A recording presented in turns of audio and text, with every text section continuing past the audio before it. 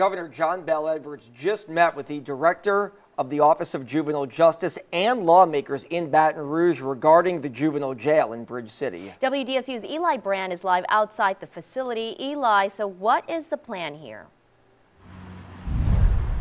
Well, Traverse Sola action will be taken tonight, according to the governor, and I can actually show you that action in process right now. I'm going to step out. We're here right in front of Bridge City. You see just across the way.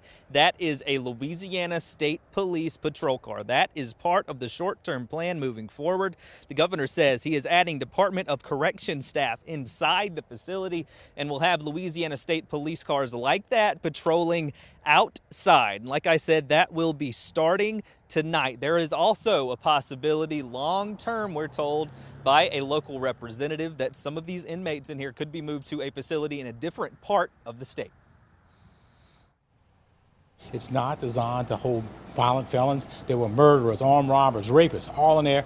Multiple lawmakers still calling for the facility to be closed before it's too late. It's very, very concerning to know that, you know, the state of Louisiana has custody of these uh, kids and, and uh, who are we, you know, how, how are any of them safe uh, in this environment? You know, an- anyone in that facility. Marino took part in the meeting Friday with Governor Edwards and the chief of OJJ. He says he has been in the facility and never believed it would work.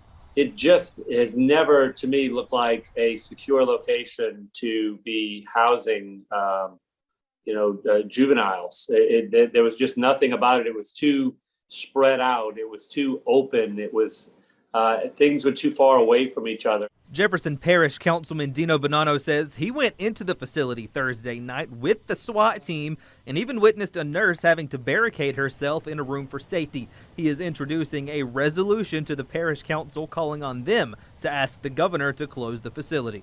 This is out of control. This cannot happen. One of my citizens is going to get hurt or killed. When you got a murderer walking through your neighborhood pulling on doors, that's a problem. Marino agrees if nothing changes long term, the doors need to be shut. Do you think it should be closed and the inmates moved to a better facility? I, I, I definitely think it should be closed. And on the incident last night, the Office of Juvenile Justice tells tells us one inmate was injured and one employee was injured. They were treated for minor injuries. For now, reporting live outside of the Bridge City facility, Eli Brand, WDSU News.